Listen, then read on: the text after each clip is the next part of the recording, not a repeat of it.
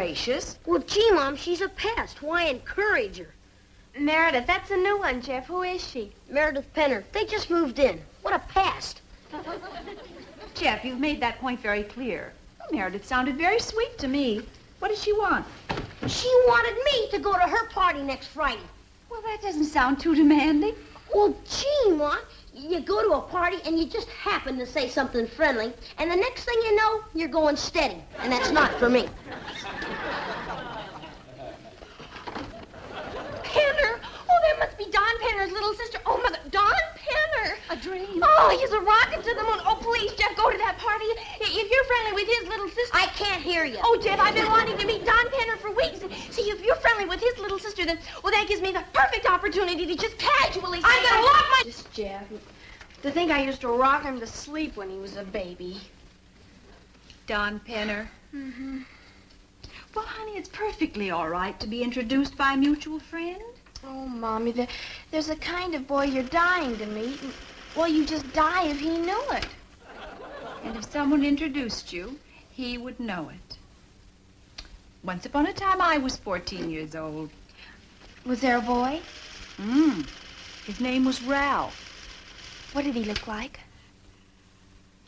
Oh, my.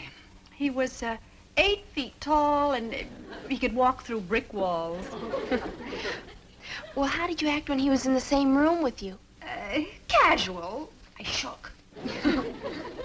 Ralph, did, did he ever ask you for a date? Yes, he called one night and um, invited me to a party. Were you casual? Oh, extremely. I fainted.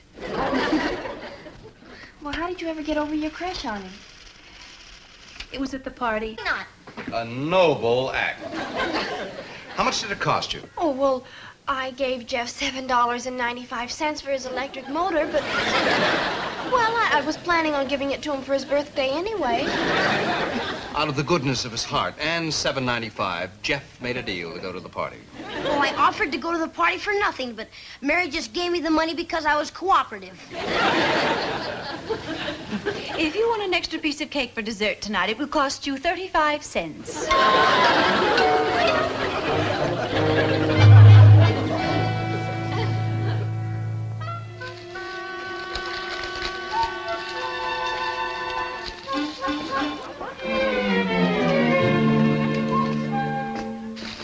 Get all dressed up to go to your own execution. I'll bet you'll go to the party, you'll have a wonderful time, and you'll be glad you went. How much you want to bet? Well, honey, if you go with that attitude, you won't have a good time. So what? That's the only good thing about tonight. Hello. Yes, she is. Just a moment, please. Steve. Mary!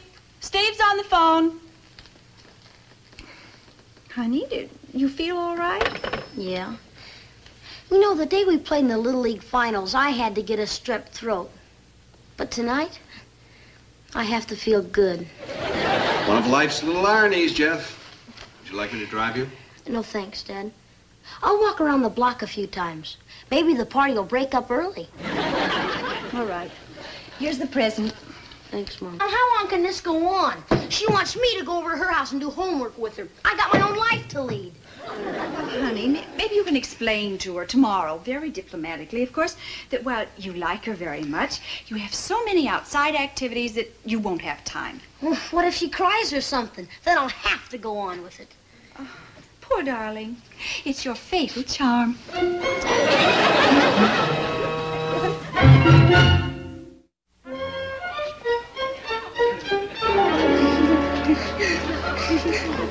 Hi, Meredith.